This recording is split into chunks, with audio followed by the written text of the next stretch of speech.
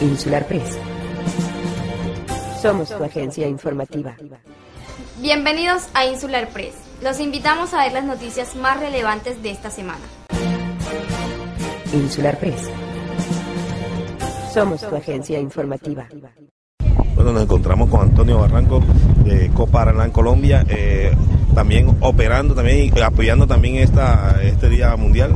Sí, señor. Hugo, muchas gracias por, por este espacio. En efecto, ya estamos terminando la jornada de recolección de residuos de las playas y los mares de San Andrés. Una iniciativa empresarial que va también de la mano con las entidades gubernamentales como el Ministerio del Medio Ambiente, la Corporación Coralina y la Gobernación, pues que busca eh, generar un sentido eh, de preocupación y de cultura por el cuidado de las cuencas hídricas. Todos por el agua es una iniciativa que lleva 15 años en Colombia.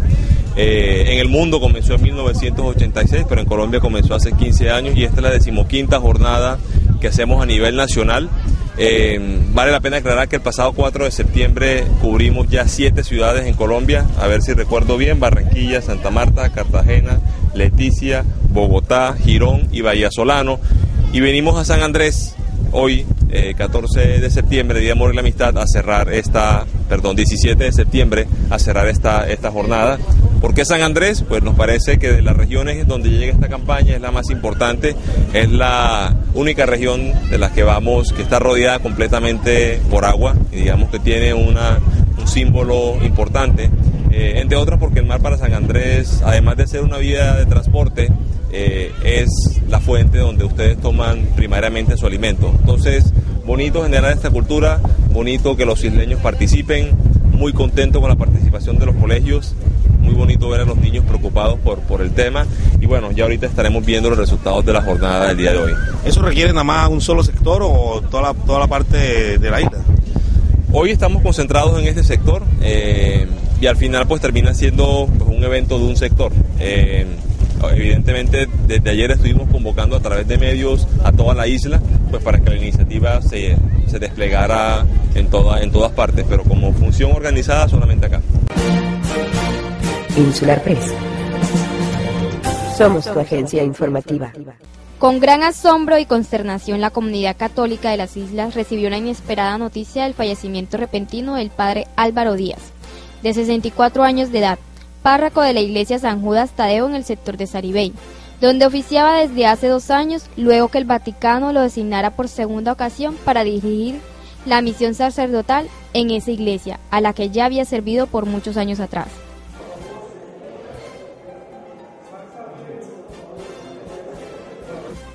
Las causas de la muerte en principio se atribuye a causas naturales, al parecer un paro cardíaco y de acuerdo con algunas asistentes que estaban con él al momento de su deceso, su cadáver permaneció durante varios minutos mientras que las autoridades judiciales procedían al levantamiento de su cadáver.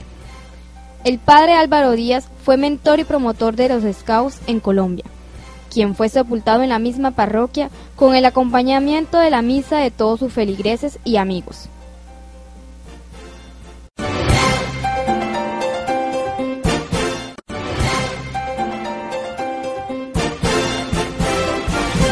El trabajo de esta operación se inicia a partir de enero del 2011, donde tenemos una problemática en la jurisdicción por problemas de narcotráfico, de homicidio y algunas personas desaparecidas.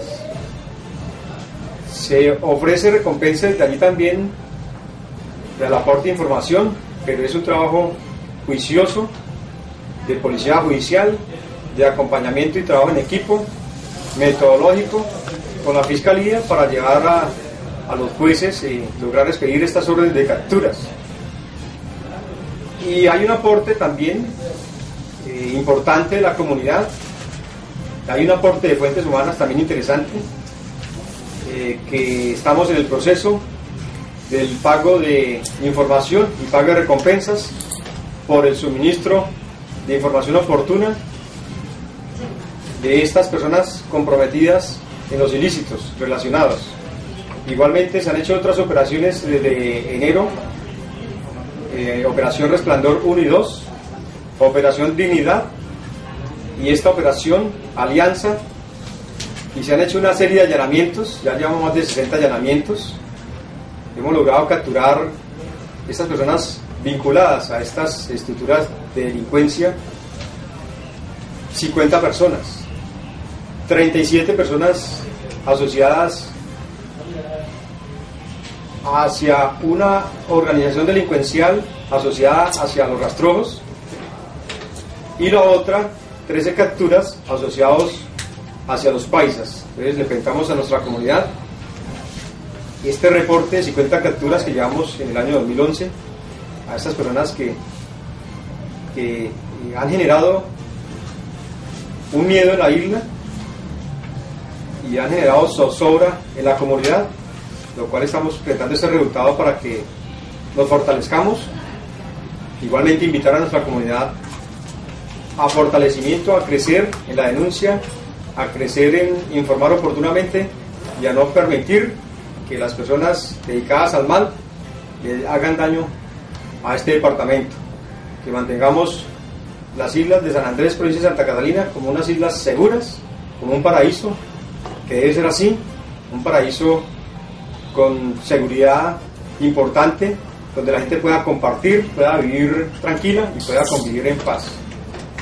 El coronel, el caso de una persona indica, se, se identifica aquí como Luis Carlos Enrique Meléndez, la región 8 de policía lo identifica como Luis Carlos Márquez. ¿Puede tratarse de personas diferentes? ¿Es un caso de doble identidad?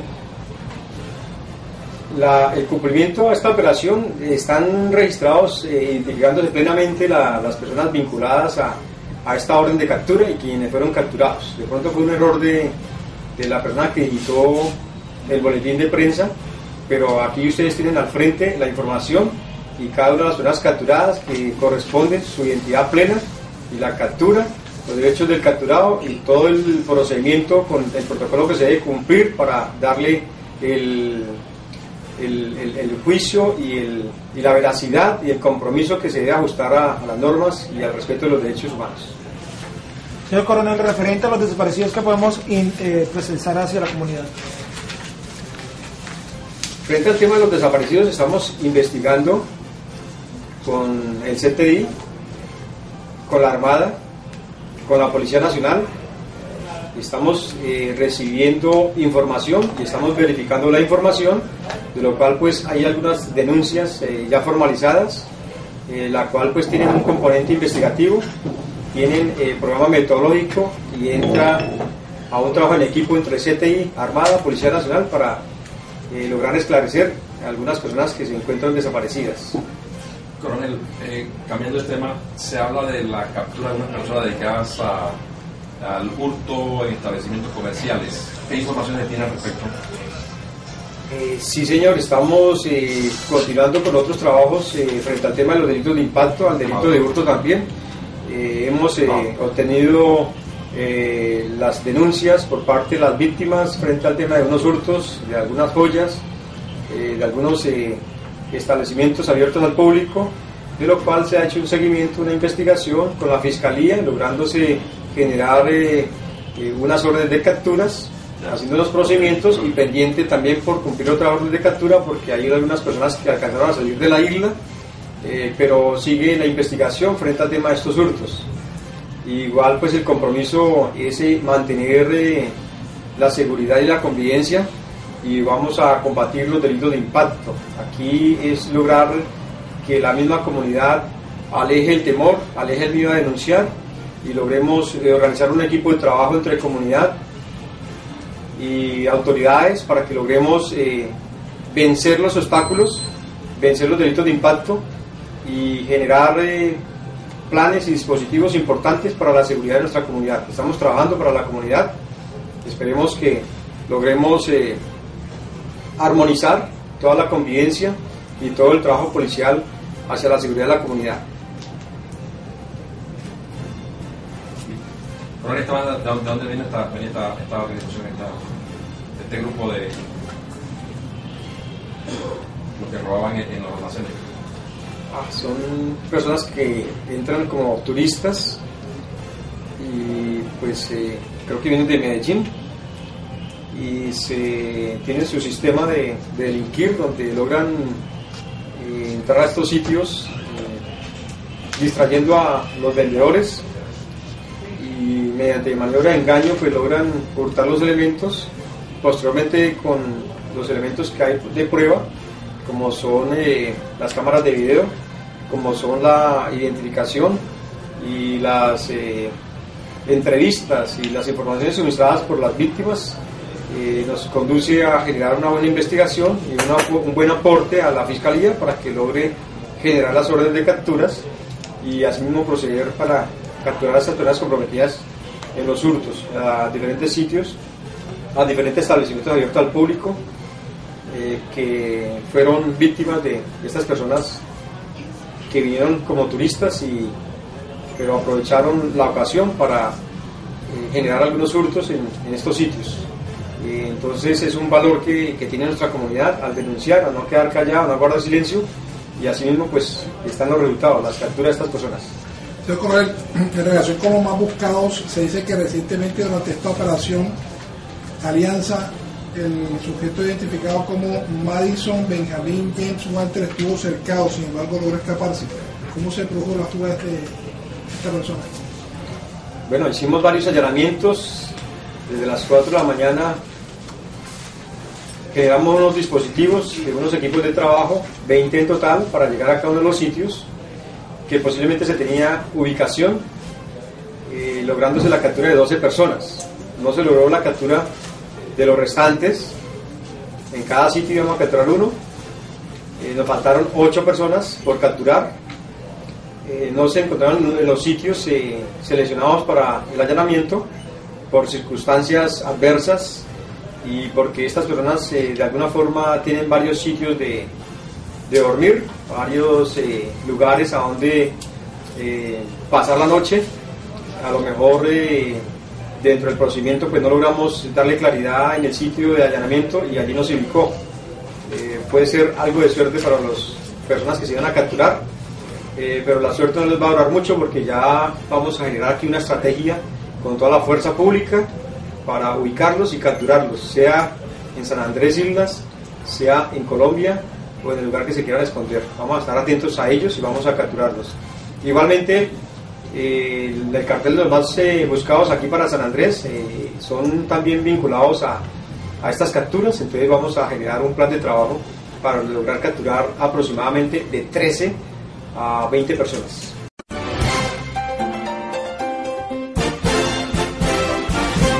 Como ya saben, pues estoy postulando nuevamente para la Asamblea Departamental. Hace cuatro años comenzamos con unas ganas de, de entrar a cambiar un poco la forma de hacer política del departamento, en la forma que se viene tratando las políticas públicas del departamento.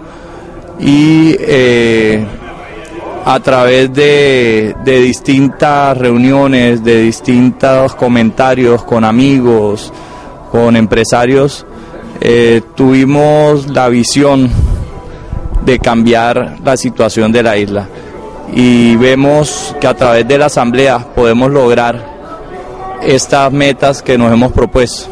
Tenemos tres puntos que estamos planteando para este mejoramiento del futuro de San Andrés, para que tengamos un futuro más próspero. ¿Cuáles son estos tres puntos? La parte de desarrollo económico y de generación de empleo, la parte de seguridad y la parte de educación. ¿Qué queremos lograr con la parte de desarrollo económico y generación de empleo? Dar unas condiciones para que los inversionistas puedan llegar a San Andrés y las personas que aquí viven puedan invertir sin miedo, puedan tener la posibilidad de crear empresa, de generar empleo, de generar riqueza y así cambie el estatus de las personas que estamos viviendo en San Andrés. Este es un problema que se vuelve transversal con los otros. Si no tenemos empleo, si no tenemos oportunidades, pues así mismo se va a reflejar en nuestra forma de, de tener la seguridad, en nuestra forma de ver los estudios. Por eso estamos planteando esto como el eje principal de nuestros temas. En la parte de educación estamos apoyando la, la campaña de la gobernadora en sacar esas políticas públicas para una educación bilingüe, para que los colegios no sean solo el ente donde tú vayas a aprender a la parte académica, sino que tengas el esparcimiento, tengas también el aprendizaje de la parte deportiva, de la parte artística, que sea un colegio integral, que sean unos grandes colegios donde puedas tener todas las oportunidades, que estén los muchachos de 7 de la mañana a 5 de la tarde y así no tengan tiempo para salir a hacer diabluras o meterse en malos pasos. La parte de seguridad estamos planteando un tema que ha sido en, los últimos años bastante eh, pedido por la comunidad. ¿Qué queremos? Queremos crear un nuevo código policial y de convivencia. No es solo la parte que se está atacando de la guerra entre las pandillas de la guerra entre los narcotraficantes, es también cómo están actuando nuestros vecinos, cómo está actuando nuestra población. Si vemos las cifras de eh, muertos de sicariato, es tan grande como la de los que se están matando por riñas, por hurtos y por este tipo de intolerancia que estamos teniendo en el departamento. Estos son básicamente los puntos que queremos trabajar. Son unos puntos, eh, como lo dije anteriormente, que tienen eh, se, se cruzan transversalmente y van a ayudar a un desarrollo económico del, del departamento con más empleo para todos y con más oportunidades para todos. Bueno, eh, que vean la persona que se está lanzando. Y Fernando González es un joven empresario, una persona de las islas. Eh, estamos retirándonos del sector privado, viendo la necesidad y viendo que tenemos las capacidades para lograr de verdad tener alguien en la Asamblea que defienda nuestros derechos, que nos dé oportunidades de verdad a futuro. Yo creo que las personas tienen que tener una vocación. Yo desde pequeño lo he demostrado, hago parte de varios grupos sociales de los cuales está el Club Rotarios actualmente y la Reserva Naval. Eh, a través de los cuales se ha hecho unos trabajos sociales hacia la comunidad. Esto demuestra nuestra vocación de servicio, esto muestra que queremos hacer las cosas porque no nos nace, no porque vayamos por un sueldo. Hay que empezar a cambiar la forma en que estamos eligiendo a nuestros gobernantes. Elijamos a personas que de verdad quieran hacer las cosas para San Andrés y que nos demuestren un programa serio y convicciones.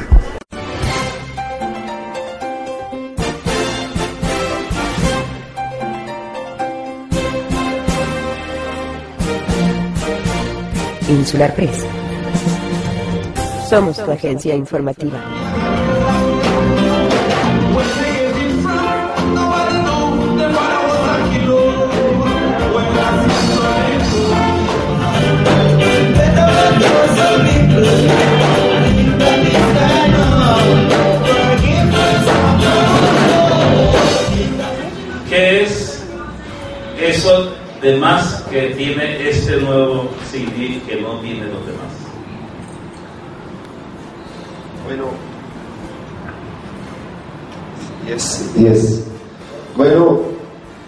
Yo me encuentro muy optimista con este CD, por lo que, primero que todo, es producido aquí en San Andrés, hecho por nosotros mismos, en los estudios de nosotros mismos, y no solamente pues por, por, porque lo hicimos en el estudio nosotros mismos, sino eh, la preparación que tuvimos a través de, del SENA, con el grupo Lazo pudimos, pudimos eh, aprender mucho más sobre la producción musical, sobre un buen sonido digital.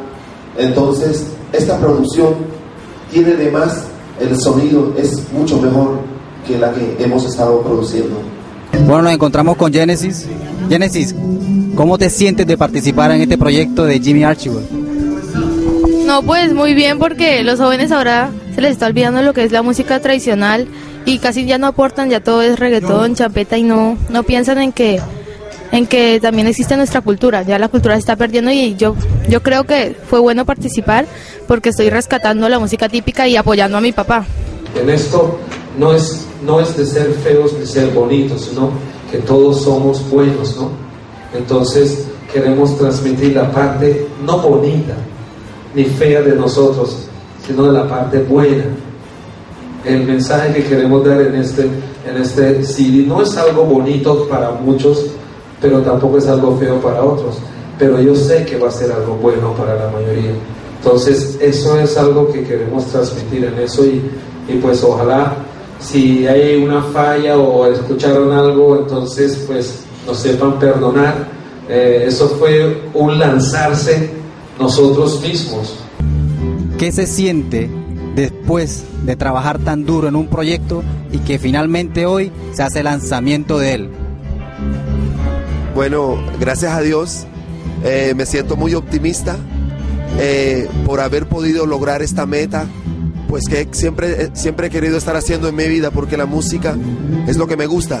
Este es mi cuarto CD que lanzo, que se llama Islas Vivas y, optimista, con todas las ganas, con todo el empuje para adelante, con toda, eh, para, para promocionar y mostrar a San Andrés su música y su cultura.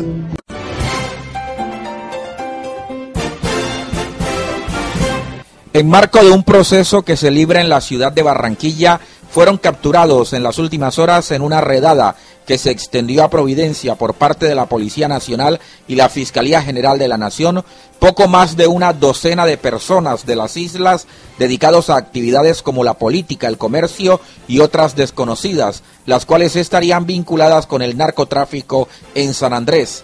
El operativo desarrollado en el municipio de Providencia y Santa Catalina permitió la captura del ciudadano Manfred Webster Archibald, quien fue concejal del municipio de Providencia hasta cuando una sanción disciplinaria de la Procuraduría General de la Nación lo apartó del cargo y quien era solicitado por la Unidad Nacional Antinarcóticos y de Interdicción Marítima de la Fiscalía General de la Nación por varios delitos. El ex concejal fue transportado en el avión C-90 de la Fuerza Armada Nacional y puesto a disposición de las autoridades competentes en San Andrés, para luego ser embarcado en un avión Fokker de la Policía Nacional de Colombia.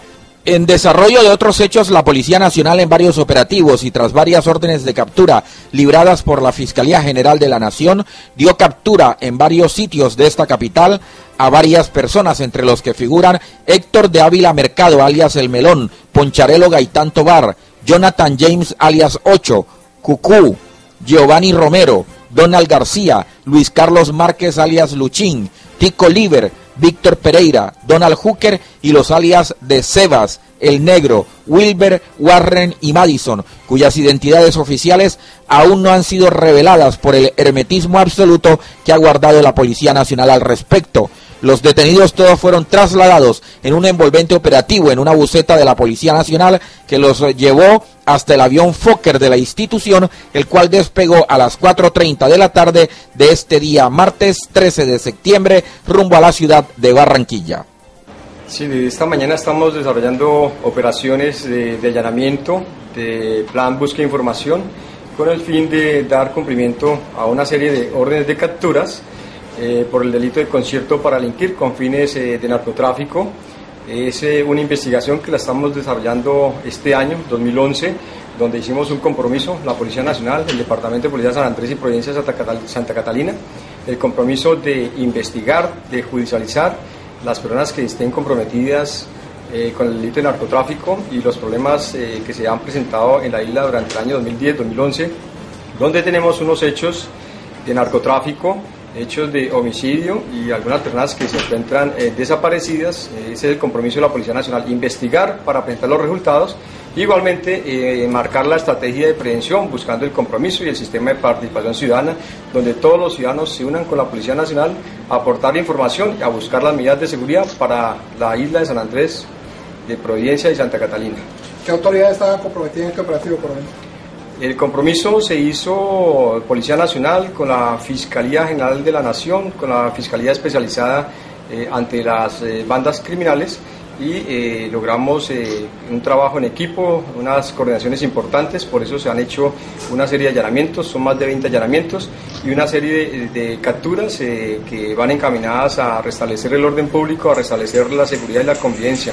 Tenemos que darle cumplimiento a 25 órdenes de captura y seguiremos trabajando para lograr el compromiso eh, en coordinación con la Fiscalía y en coordinación con las autoridades y especialmente que tengamos una participación muy efectiva de la comunidad de San Andrés, Provincia y Santa Catalina. El número de, de personas que están capturadas, eh, ¿cuántas serían? Eh, bueno, está en proceso, estamos ya continuamos con, con, con el procedimiento. Eh, ya iniciamos desde las horas de la mañana, desde las 4 de la mañana empezamos a hacer los seguimientos y aún continuamos eh, haciendo búsqueda de algunas personas comprometidas y que tienen eh, orden de captura. Seguimos trabajando. Este es un avance que le estamos presentando a ustedes, eh, pero tengan con la seguridad que mañana eh, o pasado mañana le vamos a entregar un reporte completo del procedimiento que se ha hecho al momento con los resultados.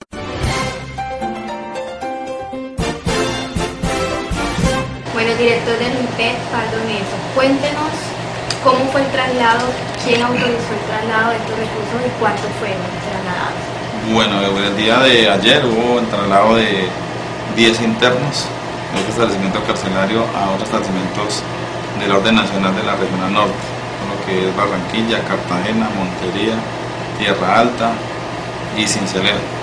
Esos traslados fueron ordenados por la dirección, dirección regional norte y motivaron ello uno el, el hacinamiento que tenemos dentro del establecimiento carcelario teniendo en cuenta que el establecimiento es para 139 internos teníamos 40 internos de, de sobrecupo entonces cuando hay hacinamiento las condiciones de habitabilidad de los internos son bastante complicadas porque hay internos que están ya durmiendo en el suelo entonces debido a eso se, se toma la, la la decisión de reubicar personal de internos.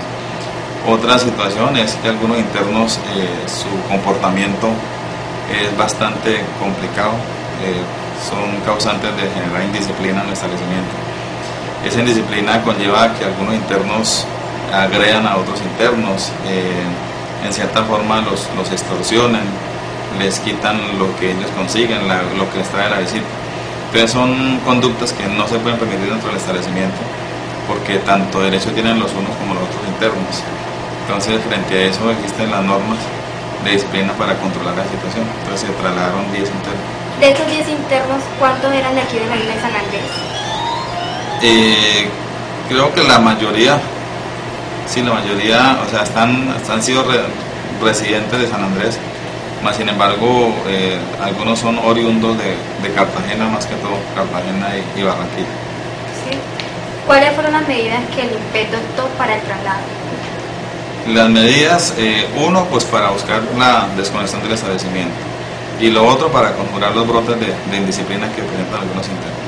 ¿Qué conocimiento tiene usted frente al proceso de los presuntos sicarios del, del, bar, del barrio Alcanteras que fueron también trasladados el día de ayer? Sí, ello obedeció a una orden eh, por cuanto el proceso de ellos fue se cambió de erradicación, entonces la erradicación ahora está en Cartagena. Eh, por ende, se, el despacho judicial solicitó el traslado de estos internos a Cartagena, entonces con base en eso y dándole cumplimiento a esa orden judicial, se hizo el trámite ante la edición regional norte del IMPEC y se autorizó el traslado. De hecho, fueron trasladados ya para la ciudad de Cartagena.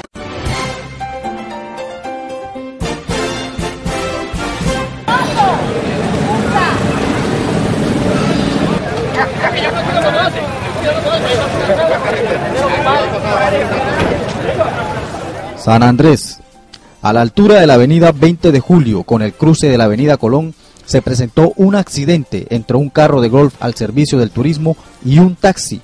Al parecer, el carro de golf hizo caso omiso a la señal de tránsito que se encuentra en la esquina de la avenida, provocando una colisión con el taxi de placas XZ1376, en el cual el carro de golf, por el impacto que recibió, se vuelca, saliendo heridos los turistas que lo conducían.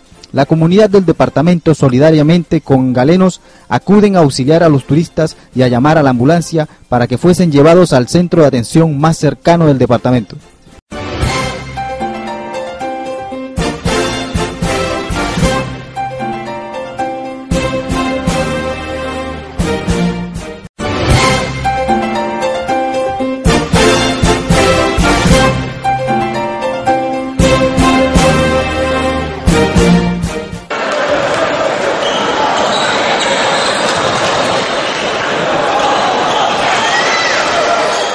Quinteto sanandresano comenzó con pie derecho el torneo Copa Invitacional 2011, cuando en la primera fecha le ganó 71 por 68 al equipo de Búcaros.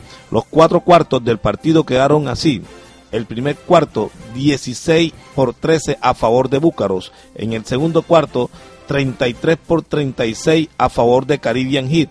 El tercer cuarto, 55 a 54 a favor de Búcaros. Y el cuarto cuarto lo gana el equipo Caribbean Heat 71 a 68. De nuevo se enciende el fervor del baloncesto en la isla cuando reapareció el quinteto sanandresano y fue toda una fiesta basquetera en el nuevo Coliseo de San Luis.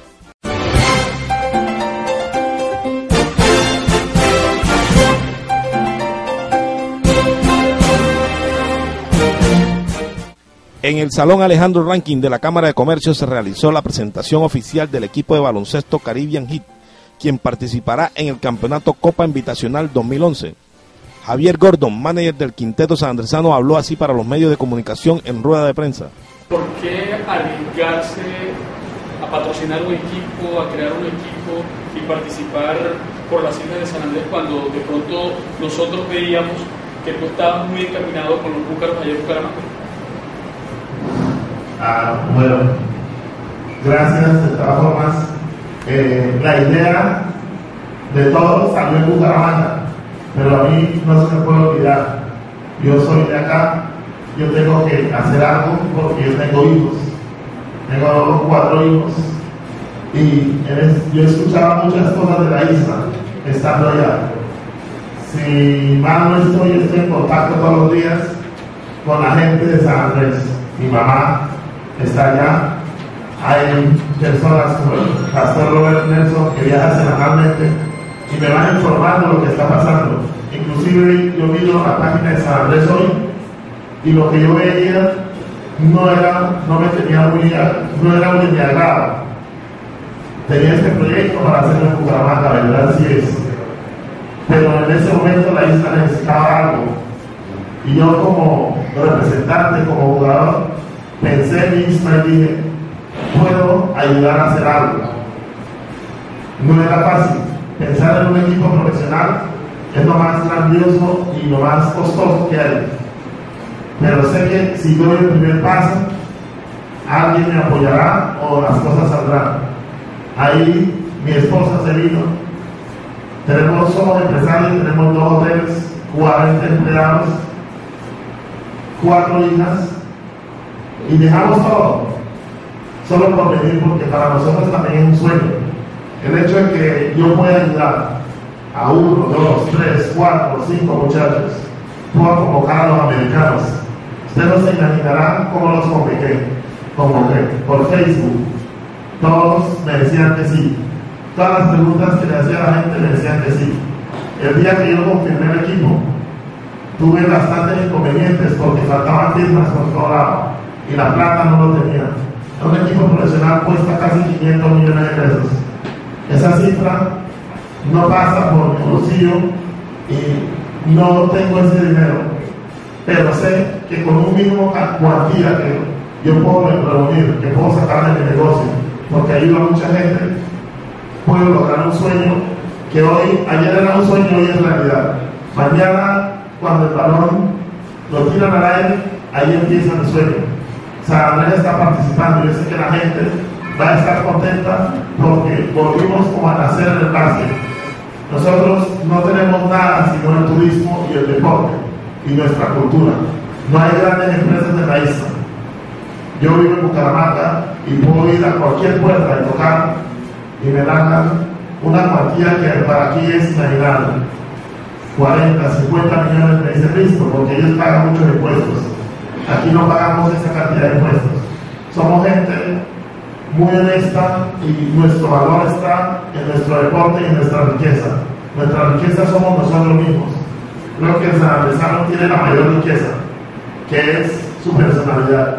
Entonces pensé en ellos, porque algún día yo estaba en la posición que estaban ellos. Pude lograr salir a estudiar y fue mi mejor sueño. Pero te puedo devolver algo. No me sobra nada, pero puedo devolver algo a ellos una voz de esperanza y decirles, estoy con ustedes, como dice la canción, cogémonos de la mano porque todos podemos salir adelante. Por eso pensé en ellos y por eso nació Gabriel aquí. Gracias a muchas personas que me apoyaron y me dieron una espaldarazo y me va por buen camino. Los muchachos también están haciendo su esfuerzo. Ellos están jugando por un dinero que yo sé que si fuera otra persona, ellos no jugarían por eso. Del americano hacia abajo. Están haciendo su aporte. Ese aporte se verá reflejado en la cancha. Y por eso es que estamos ahí. Bucaramanga está bien, tiene un equipo. Y ellos van a venir, y usted va a ver el equipo, el equipo ni es de ella. Pero aquí cada uno de ellos representa una región. Ahí tenemos personas de Providencia, personas de la Loma de Barra, de San Luis, personas como dijo el señor Coletado, de, de, la, de, de la gobernación que trabaja en bombero, jóvenes que estudiaban conmigo, que vieron que este proyecto empezamos hace tres años, estaba Milton Hughes, está Ilmo, estuvo Jordi Dobbs allá conmigo, Edward, todos los días les contaba mi sueño, hacer un equipo profesional. Hoy en día es una realidad. No importa donde esté yo, San Andrés siempre estará presente porque yo soy de aquí, mis raíces son de acá. Pues por eso Caribbean aquí.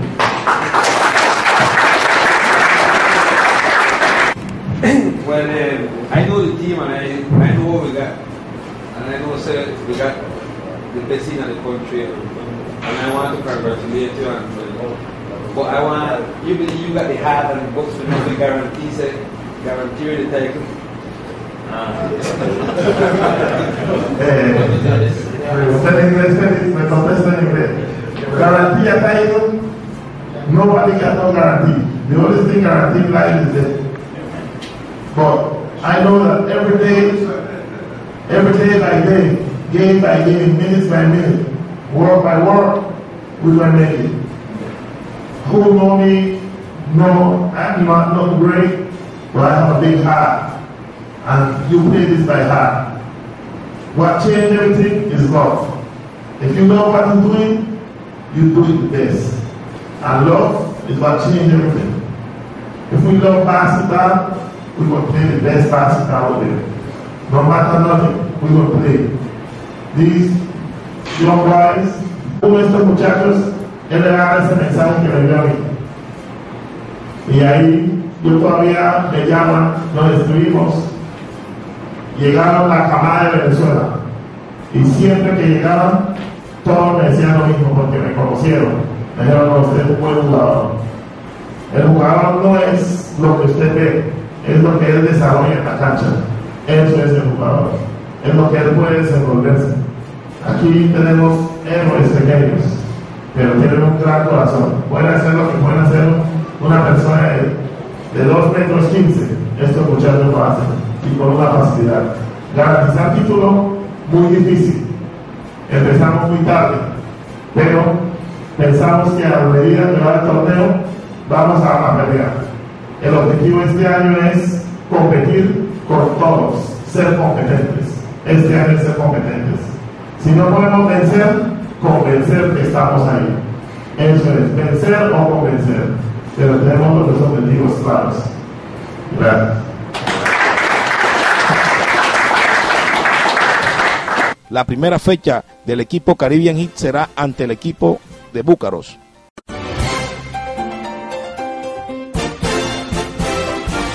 Eh, bueno, nos encontramos con el nuevo técnico del equipo de baloncesto de Isla San Andrés a afrontar eh, la Copa Invitacional eh, 2011. Eh, viene de la ciudad del país de Venezuela, del sector de- del municipio de Táchira. Estado Táchira. Eh, eh, profe, eh, bienvenido a Isla San Andrés. Gracias, eh, en verdad estoy muy eh, contento y feliz de estar en esta gran isla eh, colombiana. Y para mí es una gran oportunidad que me da el basquetbol de San Andrés de estar aquí. Sé que es un reto bastante fuerte, es una competencia bastante dura, una afición exigente, pero confío en el talento de acá Igualmente el, el trabajo que han realizado la profesora Nora en la parte física, el profesor Luis. Y en verdad estamos esperando el día de- del juego inicial, que es, eh, el próximo viernes, con el equipo de Búcar. Profe, ¿ha estado usted eh, oportunidad de veces eh, en torneos de Colombia? Eh, es la primera vez que... Eh, la, sí, he, he estado en, en eventos eh, en la ciudad de Cúcuta, como una ciudad fronteriza con, con nosotros. Eh, he estado en esos eventos, pero la mayoría de eventos donde he participado es a nivel nacional. El torneo es un poco eh, eh, exigible, esta Copa Invitacional. Siempre hay equipos fuertes eh, respecto a, la- a los refuerzos, a jugadores con buen talento en el, en el baloncesto colombiano. Sí, sí, el, el baloncesto colombiano ha crecido y, y más esos equipos se refuerzan con buenos jugadores, más con los colombos venezolanos. Pero yo tengo mucha fe en el equipo de San Andrés. Eh, Hoy vimos en la práctica, son muchachos con, vuelvo y lo repito, con bastante talento y sé que vamos a hacer un buen, un buen papel. ¿Con cuántos refuerzos eh, llega el equipo? Sí, vienen tres americanos, deben llegar mañana. Entonces, con el- los criollos vamos a, a construir un buen cuadro, un buen equipo. Ve un fototipo de, de- de jugadores eh, bien formados de la isla. Sí, eh, yo pienso que tienen lo, lo más importante es que tienen buena talla, jugadores bien fundamentados y bastante aguerridos. eh, entonces con ello vamos a hacer un buen planteamiento táctico en la parte ofensiva y defensiva y yo sé que nos va a dar buenos resultados. Bueno, profe, suerte a comienzo del torneo y, y esperamos que la afición también, o invite a la afición también que nos apoye. Sí, eh, invito a toda la afición de San Andrés a que nos acompañe a este gran e- evento. Es un gran esfuerzo que está haciendo el ingeniero Javier Gordon y los invito de corazón a que nos acompañen a esta, a esta final porque todos los juegos van a